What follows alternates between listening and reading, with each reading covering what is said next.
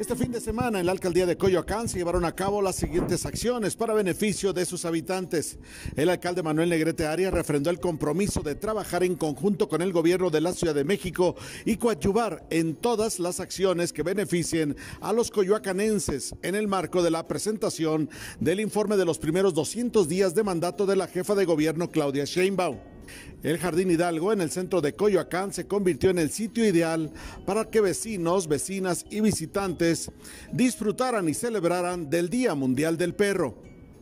En la calle Gilotzingo de la colonia Santo Domingo se llevó a cabo la jornada de salud en la que se brindaron alrededor de 300 servicios gratuitos a vecinos y vecinas de la demarcación. Se realizaron tomas de glucosa, mastografías y audiometría, entre otros servicios.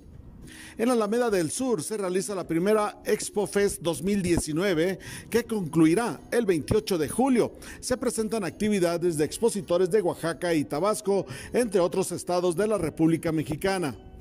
Para beneficio y seguridad de los habitantes de la demarcación, personal de la alcaldía reparó luminarias en el parque Hugo B. Margain en Copilco.